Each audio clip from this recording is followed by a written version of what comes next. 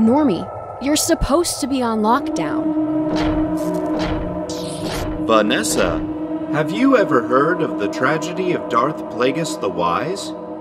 No. I thought not.